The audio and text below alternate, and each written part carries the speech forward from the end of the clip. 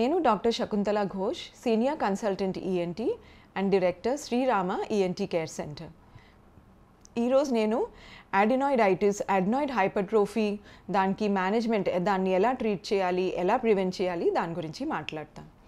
So అడినాయిడైటిస్. అడినాయిడైటిస్ అంటే adenoid టిష్యూలో infection. So nose back side back side ఉన్నది గ్లాండ్ని అడినాయిడ్ అంటారు. అది చాలా పెద్దగా ఉంటే ఒక్కొక్కసారి. దానివల్ల ఇన్ఫెక్షన్స్ రిపీటెడ్గా రావచ్చు.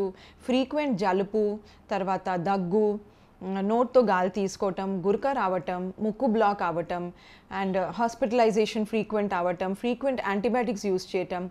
సో మింగటానికి కూడా ఇబ్బంది రావచ్చు. And failure to thrive poor weight gain ఇట్లాంటి కొన్ని సిమ్టమ్స్ కనిపిస్తాయి.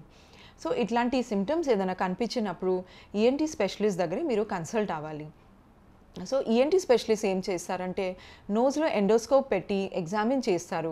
అడ్నాయిడ్ గ్లాండ్ ముక్కు బ్యాక్ సైడ్ ఉంటుంది కాబట్టి డైరెక్ట్ కనపడదు. ఎండోస్కోపిక్ నేజల్ ఎండోస్కోపీ ద్వారా అడ్నాయిడ్స్ కన్ఫర్మ్ అవుతుంది. ఏ సైజ్ ఉంది? దాంట్లో ఇన్ఫెక్షన్ ఉందా లేదా?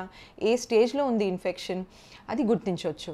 తర్వాత uh, ఒక x-ray x-ray nasopharynx lateral view ఆ ఎక్స్రే ద్వారా అడినాయిడ్ ఏ గ్రేడ్లో ఉంది? ఏ stage grade one grade one అంటే జస్ట్ కొంచెం ఎన్లార్జ్ అండ్ ఆల్మోస్ట్ నార్మల్ ఉంటుంది.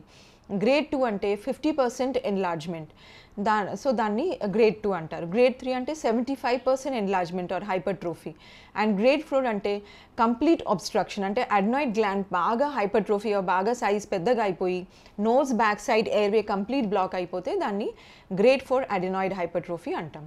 సో ఏ స్టేజ్ అది గుర్తించవచ్చు.